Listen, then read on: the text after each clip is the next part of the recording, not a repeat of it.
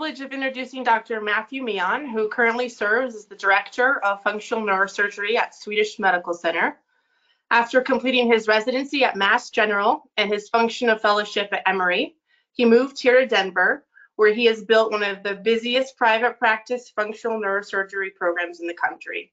He has gained great respect from his peers for many reasons, which all include doing what is best for his patients. Uh, recently, he welcomed his first son. Uh, he's seven months old now, um, so maybe if you head on to his social medias, you'll be able to see a few pictures. but thank you so much for joining us today. And uh, thank you, Dr. Meehan, for speaking to us. Uh, well, thank you very much, Kelly, and thank you to the Parkinson's Association for giving me the opportunity to speak today. Um, I've given different versions of this talk um, in the last few years, and I was excited when I went through the slides last night to see that actually there's some new stuff on the horizon that I was able to add. And, and so I, am really excited. I think this is um, a really dynamic uh, time in our uh, approach and thinking about Parkinson's disease. And I hope to share a little bit about um, what is kind of new uh, in the realm of surgery for Parkinson's disease, which I'm sure many of you uh, have heard about, many, many of you have maybe even had. So um, I think Kelly uh, introduced me, but um, just a little bit of my background. We don't we don't have to dwell on that, but um, I really wanted to focus on three things today. Um, so the first is just a general background on Parkinson's disease. This may be familiar to many of you, but I think a refresher is always helpful. Um, and then we're going to talk about surgery. So uh, who, what, when, where, uh, why, how, all the kind of nuts and bolts, the nitty gritty, and um, I'll go through um, kind of what I talk about with patients in the clinic when I meet them and we're thinking about surgery for Parkinson's. And then we're going to spend the last part of the talk talking about what's new in uh, this space and what's the latest and greatest in terms of technology and advances we have in our field. So just by way of background, Parkinson's disease is uh, very common. It affects about 1% of people over the age of 65. So we think that in the United States, there's about a million uh, patients who are affected. Um, of course, it can also affect patients under the age of 65, but the incidence grows with age. Um, we think that Parkinson's is related to a gradual loss of cells in the brain that produce a chemical called dopamine. Um, we don't know why these cells die off or disappear. There's different theories, and there's probably more than one reason that, that affects different patients. But nonetheless, dopamine loss affects uh, a variety of things in the body and in the brain. Um, and in particular, in the brain, it affects uh, a circuit or a set of structures called the basal ganglia. And it's this impact on the basal ganglia that we think is related to many of the movement symptoms or motion or motor symptoms of Parkinson's that often lead to the diagnosis. Um, so one of the principal places that these cells are lost is in a little strip of tissue, just a, a few millimeters wide, called the substantia nigra. It's down here. I think you guys can see my mouse, but um, it's down here at the base of the brain. And if you were to uh, uh, section the brain of someone with Parkinson's disease versus a patient who did not have Parkinson's, you'd see that this stripe is very thinned or uh, faded. Um, this is what that looks like uh, on a pathology slide. Um, and we don't have ways to, to test for this directly in live patients. Those are from autopsy studies that I just showed you, but um, we have other studies that help us kind of get at the same question or investigate uh, a loss of dopamine. The main one is something called a DAT scan, which you might have heard of. Uh, this is not a perfect diagnostic tool, but it's something that's often used to support or refute a diagnosis of Parkinson's disease. And uh, we can see that there's a disorganization of dopamine uptake in the brain as Parkinson's disease progresses. And so this is something that your neurologist may think about ordering uh, uh to help with your diagnosis. But again, this is not a perfect uh, study. Um, so what is dopamine? Uh, what does it do? It turns out it's a neurotransmitter. It's a chemical that's used to signal between different nerve cells. so it's released from one neuron to activate a nearby neuron. And as you lose it, um, and, and, particularly as you lose it in the basal ganglia, uh, patients can develop some of these motor symptoms or movement symptoms that uh, are familiar to many of you. So uh, bradykinesia or slowness of movement, uh, rigidity or stiffness, uh, of course, the tremor of Parkinson's disease that we'll talk more about, um, and then later in the disease, problems with posture or balance um, that can make gait or walking difficult. It turns out that these movement or motor symptoms are actually relatively late uh, manifestations of Parkinson's disease. Um, they're often the ones that are outwardly visible and lead to the diagnosis. But uh, for many patients, if you ask them, in retrospect, they've had other symptoms for five, even 10 years before. Um, these symptoms are kind of nonspecific, and so they generally don't raise concern for something like Parkinson's disease, but they can include things like constipation, daytime sleepiness, depression, loss of sense of smell, uh, and we think that the movement or motor symptoms develop a little bit later. Uh, so because dopamine is the chemical that's lost in Parkinson's disease, most of the initial therapies for Parkinson's, i.e. medicines, uh, target the loss of that chemical and really just try to replace dopamine. And they specifically try to replace it in that cleft that exists between nerve cells uh, to allow the cells to signal between one another. And so the common one that you guys have, I'm, I'm sure, heard of is levodopa uh, or carbidopa levodopa or Sinemet. But there's all sorts of other drugs that act through different mechanisms just to try to increase the amount of dopamine between uh, nerve cells. Um, and then we know um, from, from various studies that the level of dopamine in the brain correlates with movement symptoms. And that's true in general, and it's true kind of on a minute to minute basis during the day. Uh, and so we'll refer to two states in Parkinson's, and these may be very familiar to you, but um, we call an on state when dopamine levels are relatively high and patients have movements that are very fluid or feel natural. There may not be much rigidity, there may not be much tremor. And we contrast this with an off state where dopamine levels are uh, lower in the brain. Movements can be slow, there may be rigidity, and patients may have more prominent tremor. And so the goal of many of our therapies, whether it's medicines, surgery, is to try to shift more of the time during the day to the on state and away from the off state. So early in Parkinson's disease, um, when a patient maybe hasn't lost uh, too much of their uh, dopamine cells yet, um, if you take a dose of oral dopamine, levodopa, you'll see a gradual rise in dopamine levels and therefore the clinical effect that that dopamine has. And so for a few hours, you'll have a sustained improvement in function that slowly decays back to uh, uh, native levels. But we know that what happens is as Parkinson's progresses and more dopamine cells are lost, patients become more brittle. And so uh, the time they spend in this good zone, in other words, between these blue lines where their movement is natural, feels, feels pretty good, there may not be much tremor, it starts to shrink and shrink with a single dose of medication. And late in the disease, patients may have the following phenomenon where dopamine levels are pretty low. They'll take an oral dose of dopamine. They'll actually get into a good place, maybe even pretty quickly, but then they rapidly overshoot and patients can develop uh, symptoms that are called dyskinesias, which reflect an excess of dopamine. Dyskinesias can be these kind of dancing or writhing movements that are involuntary. It's not, it's not the same as tremor. Um, sometimes it may look like a patient is kind of fidgety or they can't sit still. Um, if you've seen Michael J. Fox, for example, recently, he, he sometimes has pretty severe dyskinesias.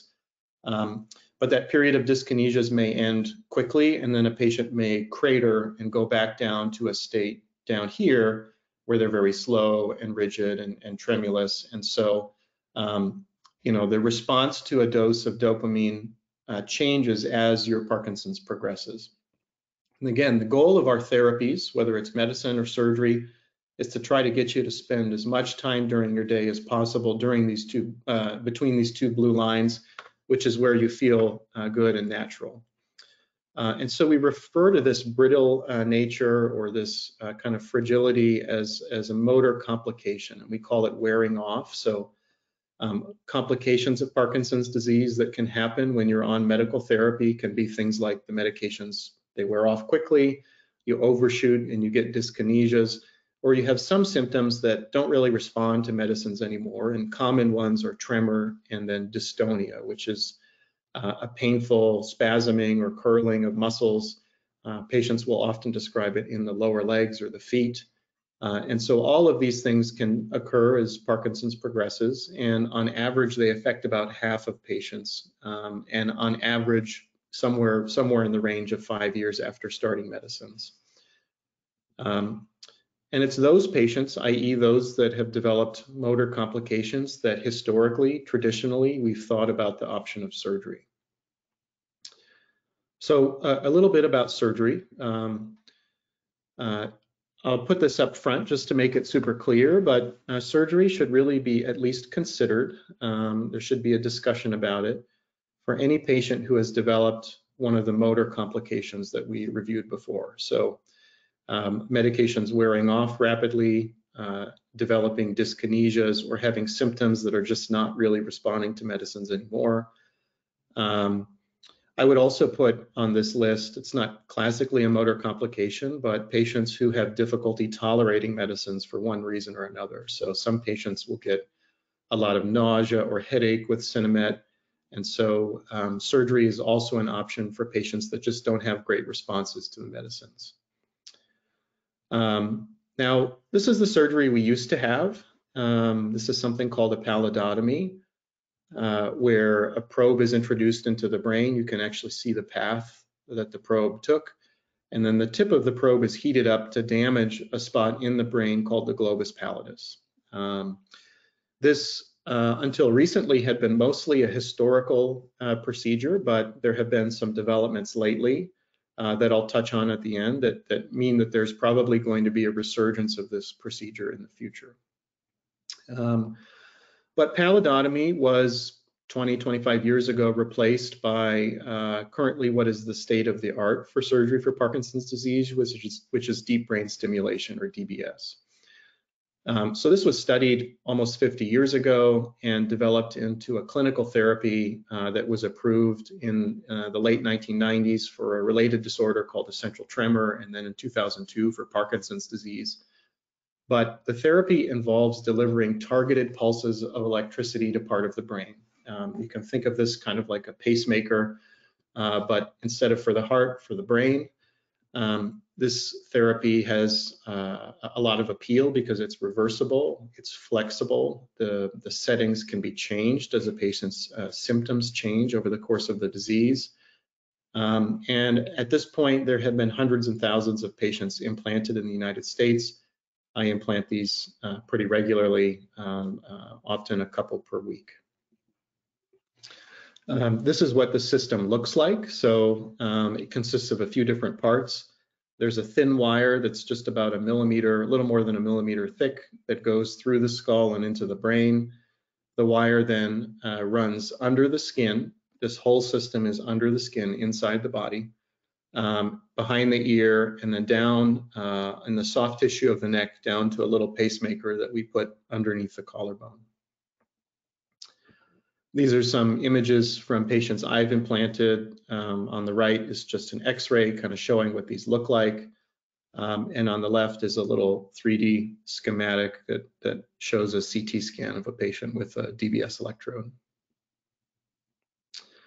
This is actually an outdated photograph. I should make a photo of the newer systems, but just gives you a flavor for the size of, of the devices. Um, you can see a quarter for comparison. These implants are, are getting smaller by the year um, and uh, are, are quite advanced at this point with the therapy, therapy now being over 20 years old. Um, so how does this work? Um, and importantly, does it work? You know, what, what can a patient who gets this device expect? Um, the good news is that um, we have more evidence for the effectiveness of DBS than we have for almost anything else in, in neurosurgery in my field. Um, and a lot of this is from randomized controlled trials where patients are implanted, uh, but only some of them are turned on and the patients are blinded to who's turned on. Um, so we have we've determined there's a number of benefits that patients experience. So one of them is that patients have improvements in their functional status or their ability to execute what we call activities of daily living or ADLs. So before surgery, there's quite a difference uh, for patients in terms of their function on medicine and off medicine. That difference shrinks or almost disappears after surgery. In other words, DBS allows you to be uh, at your best for, for more time.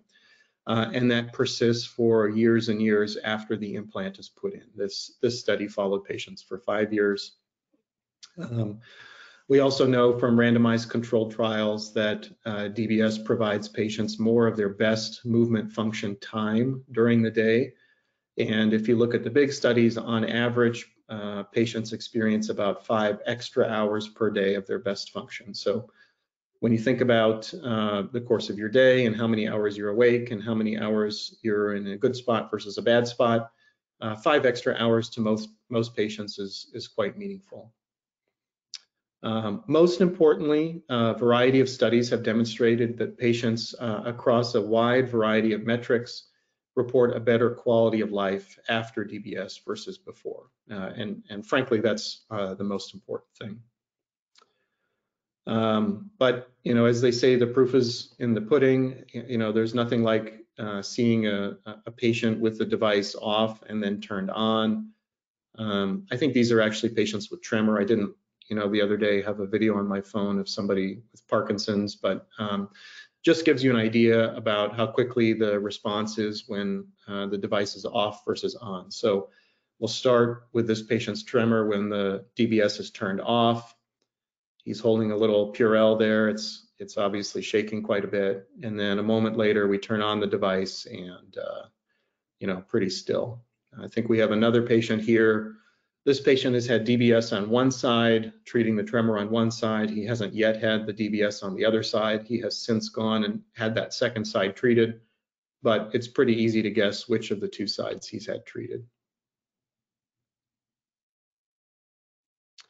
So these differences are quite striking visually. Um, you can go on YouTube and find, you know, hundreds or thousands of videos like this. These are my own patients, but um, you know, it, it it's why I think this is one of the most gratifying procedures that I do. Patients are are generally tremendously impacted and grateful, and the effects are they're not subtle and they happen quite quickly.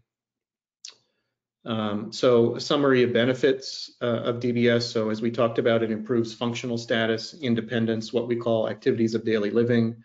Patients have more of their best movement time, again, what we call on time during the day. Um, it reduces the movement symptoms of Parkinson's disease, so tremor, stiffness and slowness, and uh, dystonia. Um, most patients are able to substantially reduce their doses of medicines, uh, i.e. lower doses and maybe fewer doses during the day. And then again, most importantly, patients uh, across the board, study after study, and anecdotally in my experience, describe a much better quality of life. Um, so what do I talk about with a patient when I see them in the office um, in terms of setting expectations for this? So there's some things that are important to understand that, that you might not realize if you just hear a talk like this or, or read something online. Um, so DBS is very effective for movement symptoms of Parkinson's disease or what we call motor symptoms, especially those that respond to levodopa or Sinemet. Um, DBS is typically not effective for non-movement symptoms, so constipation, sense of smell, um, cog uh, cognition, thinking, and memory. Some of these things that we don't think about as movement related, DBS typically does not help. Um, I would say the exception to this rule is tremor. So even if tremor or, or dystonia is not responding to medicines anymore, we can generally get it get it to respond to DBS. Okay. Um, DBS is not a cure. We don't have a cure uh, in 2023 for Parkinson's disease. There's a lot of exciting work that's in early stages related to gene therapy. In other words, trying to replace uh, genes or cells that produce uh, dopamine. We do not have those uh, close to clinical use yet, um, but patients with DBS uh, do experience significant symptom relief, and most of them describe that it feels like their uh, symptom clock is set back by about five years. Um, so this device, uh, you know, will continue to work as your Parkinson's progresses. The settings will change, your, your need for the therapy and the amount of therapy will change, but it will continue to help you. Um, and again, DBS provides more of your best movement function time during the day, but it typically doesn't change the quality of that time much. So Um, you may spend more hours at your best, but your, your best level may not be a ton different than it is on medicines. Um, who's a candidate for DBS? We've kind of gone over this a little bit, um, but we look for patients who've had Parkinson's disease for at least a few years with, with some exceptions. Um, and I'll talk about why that is. Um, we look for patients that have a good response to levodopa or Sinemet. Um, the exception to this is patients who can't tolerate uh, levodopa or Sinemet for some reason due to side effects. And again, we're looking for patients who've developed motor complications, and we've gone over what those are. Um, now, this represents a substantial number of patients with Parkinson's disease. Many patients will fall into this bucket, um, but somewhere in the order of only 15 to 20% of Parkinson's patients ever get surgery. And, you know, I think the greatest barrier is that most patients simply don't have familiarity. They never learn about the therapy. Their doctor doesn't recommend that they meet a surgeon or go through the evaluation process. And I think that's a shame, um, having seen the therapy and, and, what it can do for people. And it's what we're trying to fix or correct with, with webinars like this one. Um, so when should a patient think about DBS? We've kind of talked about the symptoms. Um, you know, there's a thought out there that, oh gosh, I want to wait as long as possible. Um, there's some reasons that that's not always a great idea. So we have uh, randomized controlled trials that suggest that treating patients a little earlier on is probably better. And it just means that they have more years to benefit from the therapy and enjoy the therapy. This was a, a trial in the New England Journal. I won't, I won't go through all the details. Um, but you know, we're trying to shift what when we're focusing on patients from late in the disease to earlier in the disease course where you know they're not yet totally disabled or dependent and they stand to benefit again from the therapy for longer. Um, so you might carry that to the logical conclusion and say, well, why not implant this right when I get diagnosed? What's the reason for that? Um, two things I would say about that. So the first is that we just have a rule of thumb, a general rule in medicine that we try to start with less invasive therapy before going to more invasive therapy. Surgery is relatively invasive, and so we like to see first uh, that patients maybe can benefit from medicines. And um, some patients do really well with medicines and don't end up needing surgery long term. Um, that's certainly not the case for everybody, but in general, we don't we don't start uh, therapy for different disorders with brain surgery most of the time. Um, the second thing is that there are some patients who initially will look like they have Parkinson's disease, but in fact will have a uh, form of atypical Parkinson's, uh, atypical Parkinson's, or sometimes what we call Parkinson's plus disorders. These can mimic um, Parkinson's disease in the beginning, but they have a different uh, natural history and they end up in different places. And we have evidence that these are not helped as much by DBS. And so we, we also want to screen out the small number of patients that actually have a different disorder. Uh, examples of these are multisystem, multisystem atrophy, Lewy body disease, uh, PSP or progressive supranuclear palsy, and then cortical basal degeneration. Um, these are tough disorders that are just treated differently than Parkinson's disease. A little bit about the nuts and bolts of, of surgery. So um, we have two targets in the brain that we can use for DBS. One is called the subthalamic nucleus or STN. It's the orange structure that you see highlighted here, and this little dot is our usual target. Um, the other is the globus pallidus internus or GPI uh, in dark blue or, or um, and, and this is the purple target that we typically aim for. Uh, we don't have to dwell on uh, the details of these, but suffice to say we've had a big clinical trial in the United States that suggests that these two targets are, are more or less equivalent in terms of the benefits that they provide patients. Uh, neurologists usually have a preference uh, of one or the other, uh, and there's some subtle differences between them that lead me to favor one or another for an individual patient. I would say nowadays more patients are getting um, subthalamic nucleus or STN stimulation than GPI, but both are valid and, and have decades of experience. Um, so what does the process of having surgery look like from a patient's eyes? What are the steps involved is a common question that I get. Um, first one, as we've talked about, is simply just a, a diagnosis of Parkinson's disease, usually by a, a neurologist.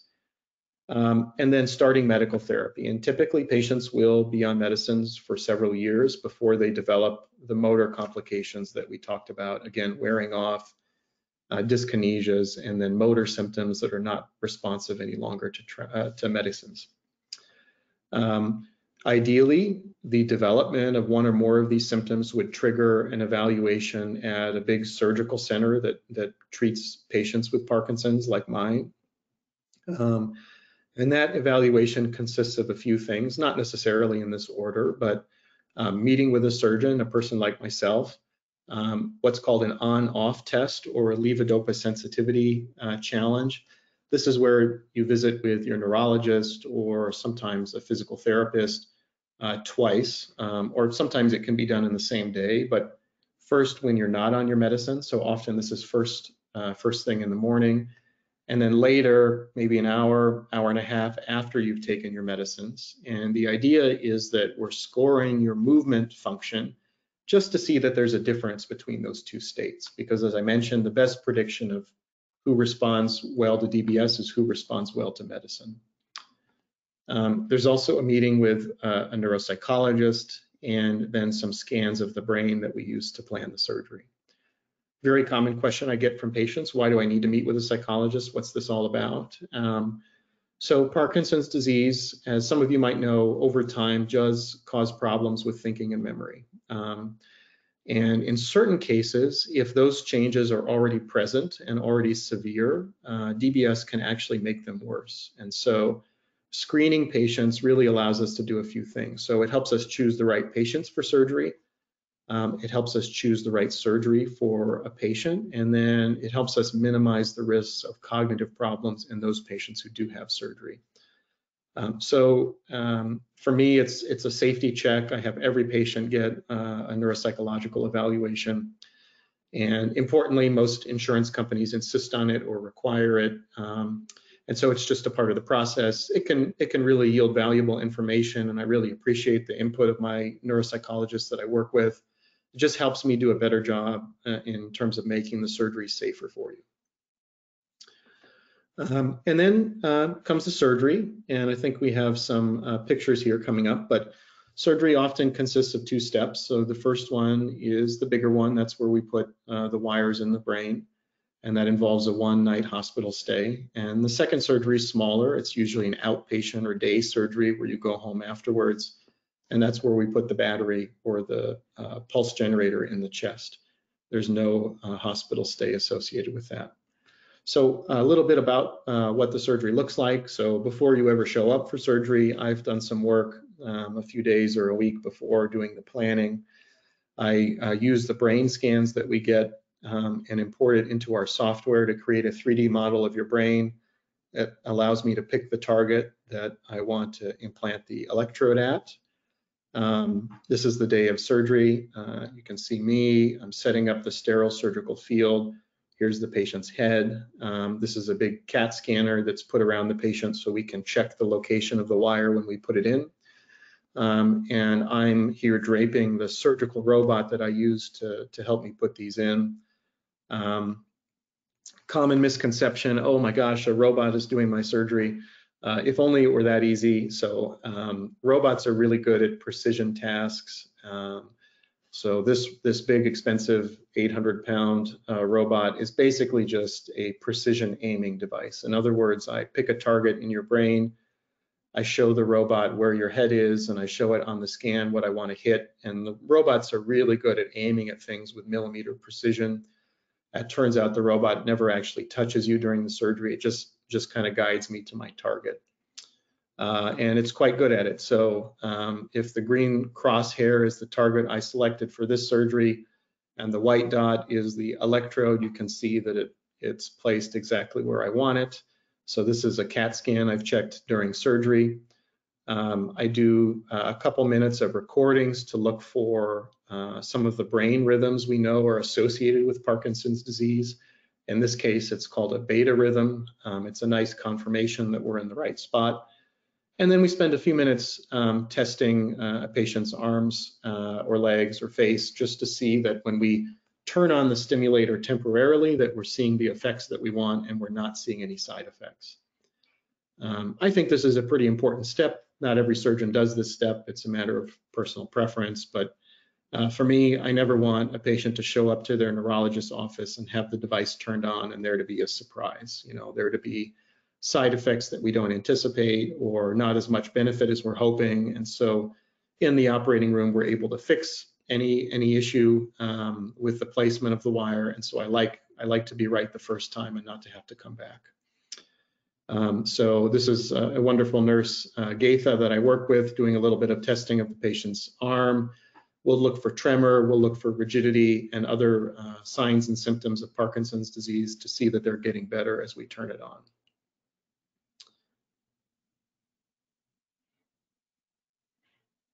So we spend just a few minutes doing that, um, and then I'll close up the incision and the patient, um, like I said, will spend one night in the hospital and typically go, typically go home early the next morning. Um, the second surgery is the battery surgery. Um, that's a much smaller procedure, um, takes about 20, 25 minutes. Patients are not awake for this. We don't have to do any testing. And I'll make a little nick here um, and I'll send the wire down um, beneath the collarbone and then make a little incision here to put the pacemaker in. Um, common question I get, a discussion I have with every patient that I see is what are the risks of this procedure? We, have talked a lot about the benefits, but what about the risks? Um, common ones that I think should be mentioned, so infection, um, fortunately this is uh, quite rare, uh, less than 1%. Um, I implant, you know, um, quite a few of these and I've had only one infection in the, the last four years, so my infection rate is uh, well less than 1%. If you look in the literature, it's something like six or 7%. So uh, I think we're doing pretty well. Um, a risk that the therapy doesn't meet expectations. So um, we haven't had a good conversation about what to expect in terms of benefits, um, and you could be disappointed. Um, and so I'd say that I, I, spend a lot of time with patients on this in the office talking about what are your symptoms, which ones are likely to get better, which ones are not. And again, we do that levodopa uh, challenge to kind of see how you respond to medicine, just to be able to help predict that. Um, as I mentioned, uh, a risk of cognitive changes or worsening. I think in practice, the risk that that is noticeable to you is quite low, uh, and that's because we do a careful job of screening patients beforehand to try to avoid that. Uh, and then finally, the, the scary one that most people are worried about, which is bleeding in the brain. Um, this is well less than 1% that it, uh, that it would cause symptoms for you. And so um, I, think it's been about four years since I've had one of those and, and uh, that patient recovered entirely, but it's just the nature of putting any wire in the brain. There's a risk that the wire causes bleeding. Um, it's just fortunately quite low. Um, Another question I've had from one of these webinars is I'm meeting with a surgeon. I want to know kind of what to ask, what to think about. Um, here are some things I would suggest. You know, this is a, a list that's just my thought. Uh, of course, this is personal and you may have other things you're curious about, but again, I think uh, to the first point, uh, setting expectations is really important. So which of my symptoms is likely to get better, which is not. Um, should we treat one or both sides of the brain? So one side of the brain controls the opposite side of the body. You may have symptoms on only one side. You may have symptoms on more than one side. And um, there's reasons to do one or both, and um, uh, that's just important to discuss with your doctor to understand what's what's the right decision for you. Um, should I get a rechargeable battery, a non-rechargeable battery? Both versions exist. Might surprise you um, which one you prefer. So just something to talk about. Um, how does the surgeon perform the surgery? I've talked a little bit about what I do. Um, what should you expect in the operating room? Should you take your medicines on the day of or avoid some of them? and then what to expect after surgery in terms of uh, aftercare and, and um, things that you might notice when you go home. Um, in terms of after we put the device in, what should you expect? Um, usually two to three visits to your neurologist um, to turn the device on and tweak the settings to optimize them for you. That will probably also involve scaling back uh, some of your medicines because you won't need as much medicine when the device is turned on. Um, and then most patients will have follow-up visits uh, a few times a year with their neurologist after they're dialed in just to check in, to check the battery, and to make minor tweaks if they're having symptoms that um, are not totally addressed by the system. And then, as I mentioned, um, charging at home, meaning using a device to charge up your battery, can be once uh, or twice a week versus battery replacements. The batteries nowadays are, are quite good, and so I think on average, um, the estimates for the batteries I'm putting in lately are that they're going to last somewhere on the order of seven to 12 years. So patients are not needing battery replacements very often. Um, so here's here's kind of the new stuff, the exciting stuff, uh, a little bit about advances and what we're doing for Parkinson's. Um, some of this relates to the technology we use for DBS, and this is one example. So conventionally, when this therapy first came out in the 1990s, uh, the electrodes just delivered stimulation kind of in a sphere, 360 degrees around the little electrode contact. Uh, we now have systems that allow us to steer or aim the current. Um, and this can be valuable if the lead is, is close to two structures and we want to stimulate one of them but not the other. I think in practice, I don't have many patients that end up using this kind of um, therapy, but it's a nice feature and there's some evidence out there that it may lead to fewer uh, uh, lead revisions or need for revision surgery. We've already talked about uh, robotic implantation, which I think is fantastic. I've done this surgery in lots of different ways over the years and I've converged on this one for the past three years or so, and uh, it's just a fantastic way to, to do this accurately and, and efficiently and safely. Um, again, here's a photo of, of what this looks like. Um, really exciting technology. This is actually Medtronic's product um, that allows us to listen to the brain.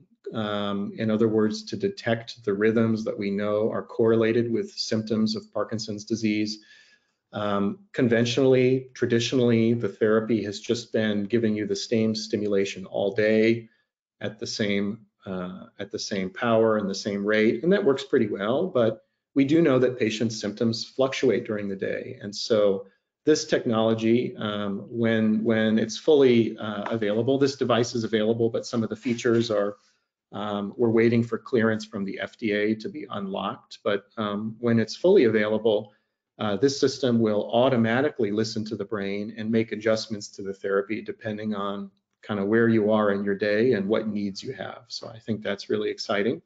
We were the first um, team in Colorado to implant this. This was now uh, maybe two or three years ago when we first put this in, but uh, exciting technology. We're really just at the forefront of this, what's called adaptive or closed loop DBS. Um, and then some of the systems are allowing us to program patients not when they're in the office, but remotely. So for patients who live really far away from their neurologist, um, you know, there's options to program the device over a video conference like so many of us do with telemedicine nowadays. Um, the leads themselves, the wires that we insert are just getting more and more sophisticated. This is more of an engineering type slide. Uh, and then, you know, we talked about two surgical targets in the brain. Um, there's actually research being done, and this is a popular target in Europe, but not yet in the United States, for different parts of the brain that, that we can target. I've done it a few times. This is a patient with um, both essential tremor and Parkinson's disease, and we were trying to treat both. Um, but uh, one of the newer targets is called the caudal zona incerta. Um, and then there's also work on some alternatives to DBS. And I know there's a lot of buzz about this, and I, I do one of these procedures, so I wanted to talk about it for a bit, uh, or I do a couple of these procedures, I guess. But um, so one option for patients uh, where all we're really trying to treat is tremor is something called a thalamotomy. And this is a procedure we've actually had for a long time. We've had it for longer than DBS. Um, it's appealing because there's no incision, there's no implant. Um, uh, in this case, it's a gamma knife thalamotomy. It's being done with radiation. Uh, it's done as an outpatient procedure. Um, and gamma knife uh, can be very effective for tremor, but it doesn't treat other symptoms of Parkinson's disease. And there can be quite a delay before the effect uh, is realized, sometimes six months or more. And so I would very seldom do this uh, for patients with Parkinson's disease, but an alternative to this that uh, is much more popular now, and I've been using a, a, good amount, is something called focused ultrasound. And I suspect some of you have heard of this. Um, so thalamotomy just refers to the creation of a tiny lesion in the thalamus, which is uh, a deep structure in the brain that we think is involved um, in uh, the circuit that causes tremor. And so we can make um, that lesion with, uh, sorry, uh, we can make that lesion with radiation. We can make it with a probe that we heat up, or we can actually make it with ultrasound waves that kind of converge on that spot in the brain and heat it up. Um, and so this is a, a, procedure that was developed for essential tremor, for another tremor disorder, um, but has actually shown promise for Parkinson's disease.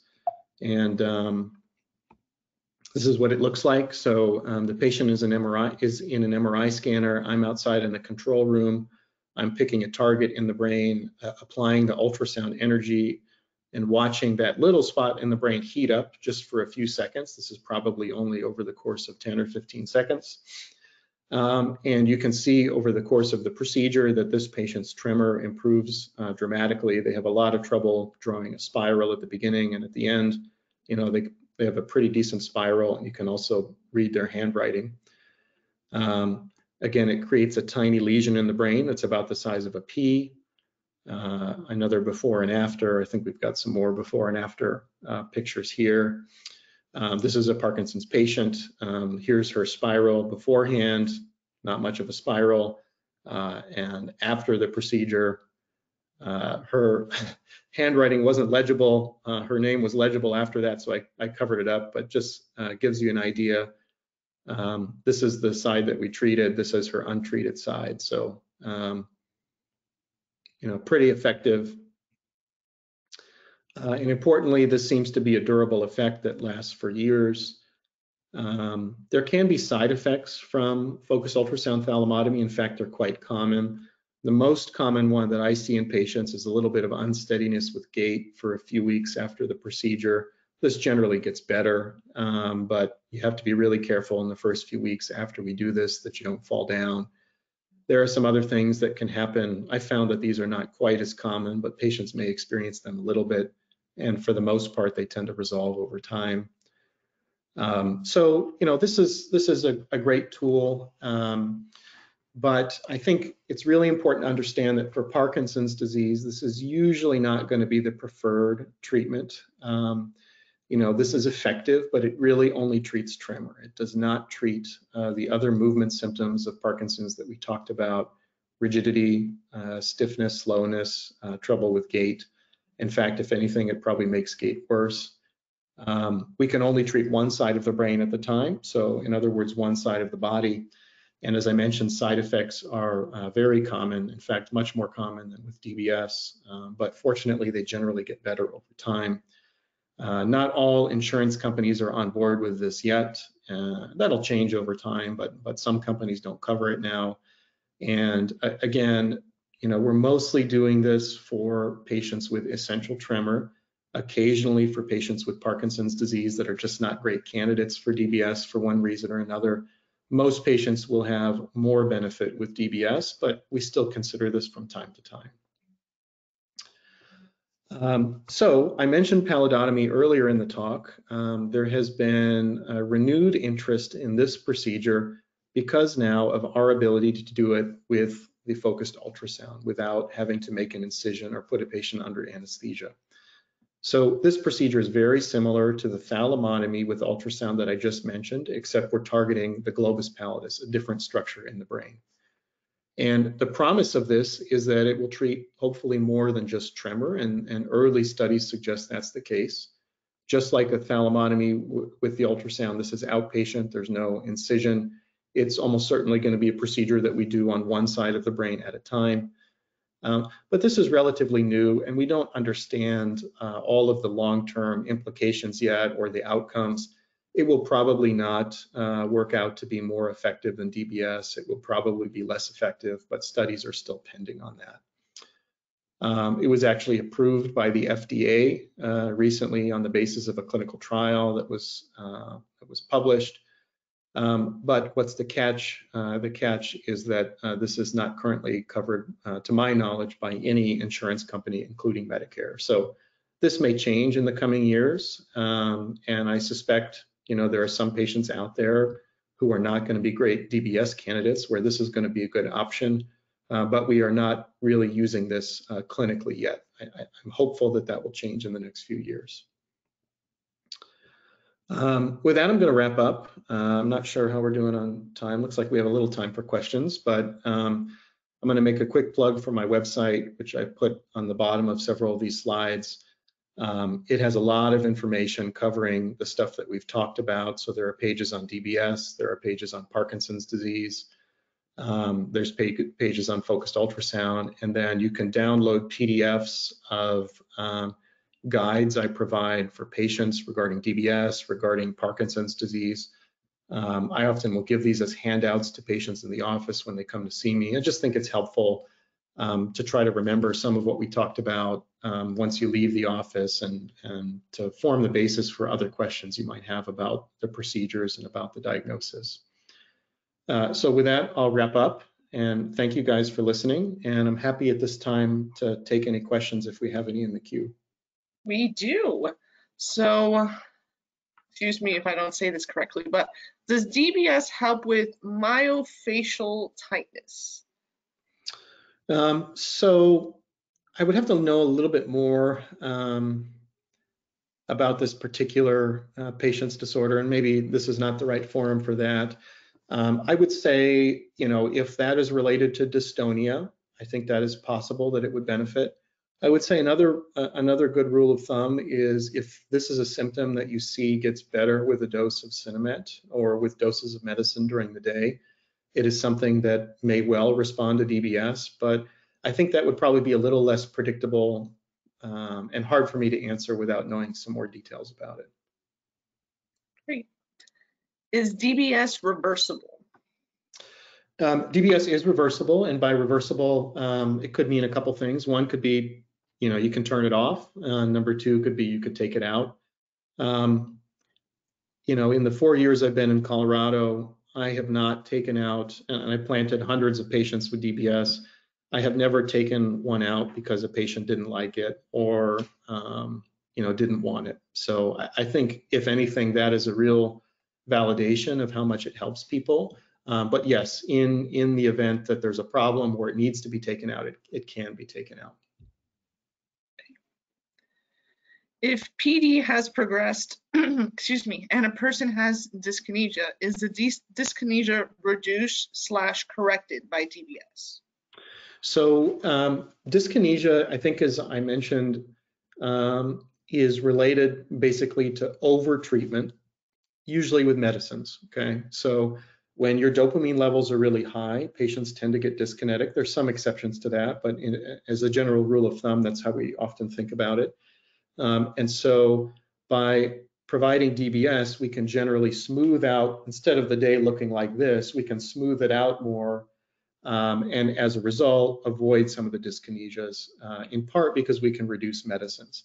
DBS can also cause dyskinesias because it's a form of therapy that's treating the circuit that's involved uh, in, in the symptoms of Parkinson's. Um, but we have the ability to fine tune it. And remember, DBS is running all the time in the background. It's not a pill that you take and getting metabolized and getting to a high level in your system and then dropping.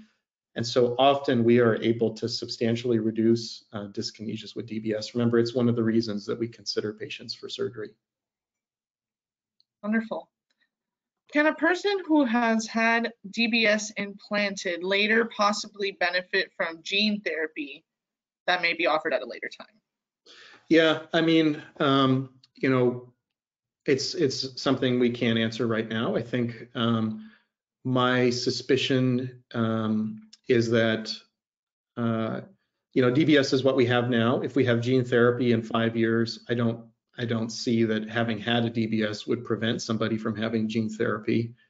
Um, but it's simply an open question because that therapy is not in clinical use yet, and um, we just really don't know what to expect. So that's that's a difficult one to answer. Is focus ultrasound reversible? No. Focus ultrasound is a lesion in the brain. You know, you've damaged uh, a part of the brain. Again, it's really small. It's smaller than the size of a pea. Um, but uh, once you've injured that spot, there's no regenerating it. Um, As the swelling goes down from the injury, a lot of the side effects that I mentioned earlier will fade and, and go away. Um, but there's no undoing, you know, if you cut a nerve, for example, um, you, you can't regrow it or, or you can sew it back together, but it's never going to work the same way. And the same is true of the brain, so it's not reversible. Got it. So Phil, I see that your hand is raised, so you can go ahead and unmute yourself. So you can answer, so you can ask your question. Yes, I, I just had a quick question on medications that you would recommend uh, to address the tremor. I, I take a standard carbidopa levodopa, uh, and I'm taking a propanol, propanol. Propranolol? Yes, for, for the tremor, and it, it- you know, I'm, I started out on 10 milligrams three times a day. Then I went to uh, 20 three times a day for, um, and it, you know, it, it seems to help a little bit, but I didn't know if there was some other medication that you might recommend for the tremor. Yeah, um, I'll say a couple things. One is, you know, this is a webinar. I can't, I can't give personal medical advice. But number two, so as a surgeon, I don't, I don't um, prescribe the medicine so much. That's what I kind of leave in the realm of the neurologist. But um, a couple comments I would make. So one is that, you know, while Sinemet is um, kind of the standard medicine for Parkinson's, propranolol is not. Propranolol is typically used for essential tremor. Obviously, I don't know all the details of, of of your symptoms. Um, but there's a ton of other medicines and, um, you know, a suggestion I have for patients that end up on sometimes unusual uh, medicine regimens is um, if you don't have a movement disorder neurologist, um, I, I think most patients with Parkinson's disease are best served if their care ultimately is with a movement specialist. And so um, you know, if you were to connect with me or reach out, I'm happy to suggest some that I know that I think do a fantastic job. Um, but they are kind of the wizards of um, putting together medication regimens that really optimize um, care for patients with Parkinson's. And all they do is see patients with movement disorders like Parkinson's. Sometimes with a general neurologist, their knowledge of some of the newer drugs for Parkinson's is a little more limited. And so um, this might be something where a movement specialist could be really of, of help or benefit. Okay, thank you. Wonderful. Um, Susan, you also have your hand raised, so you can go ahead and ask your question. Hi, yeah, thank you for the webinar. Um, I, my question was your comment around the um, data with patients seeing for getting DBS, having the DBS procedure done, an average of maybe five years of, you know, kind of dialing back on their symptoms. Was that by any chance based on like actual clinical trial data, or was that kind of just more anecdotal? Do we know if there's any data supporting that? So, you know, it's it's a kind of a colloquial way of putting this. Um, I, I couldn't off the top of my head tell you if, if this is a particular trial.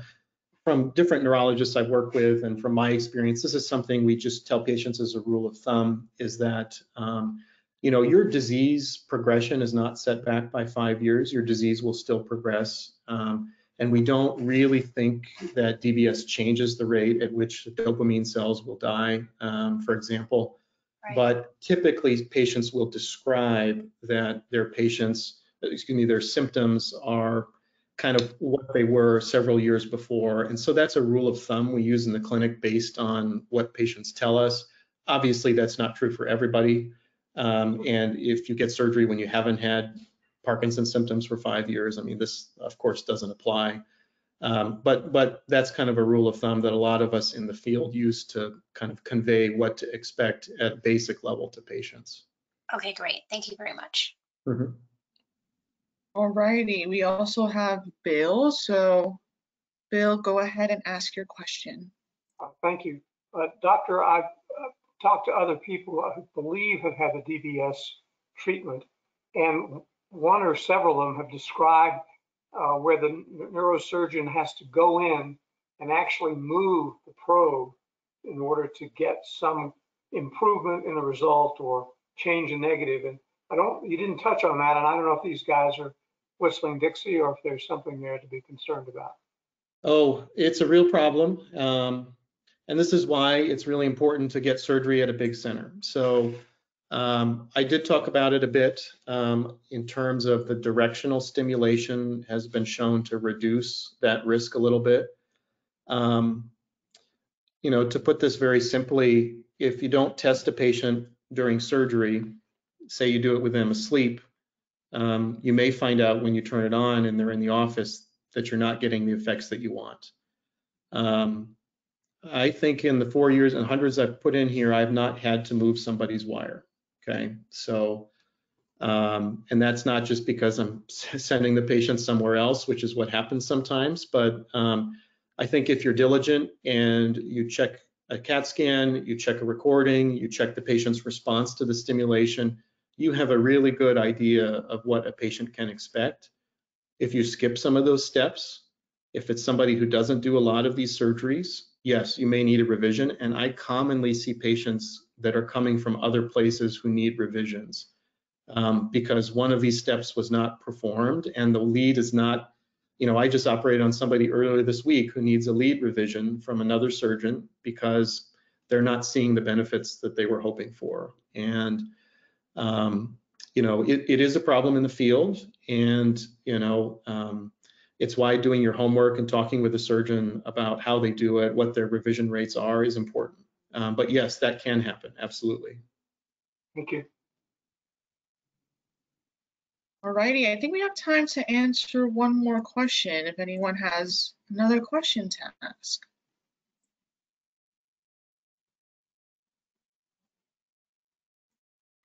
Alrighty, we got one.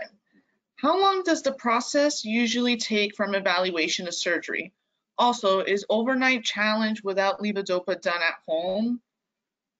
Parentheses Um, followed by saying response to, okay, yeah, that's the question.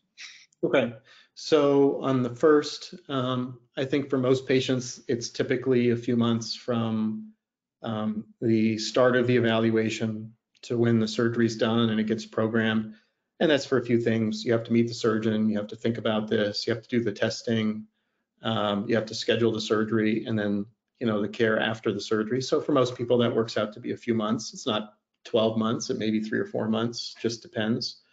Depends a little bit on where you're doing this and what their protocols are. Um, and then uh, about can you do the testing at home? You know, I'm not aware of anyone who goes to patients' home and does uh, homes and does this testing. So, you know, for some of you who are really affected, it might mean that you have to get somebody to drive you in the morning to your uh, PT's office or neurologist's office to do the testing. Um, but many of them can do the testing just in one setting, uh, one sitting. You know, you you come in first thing in the morning, not having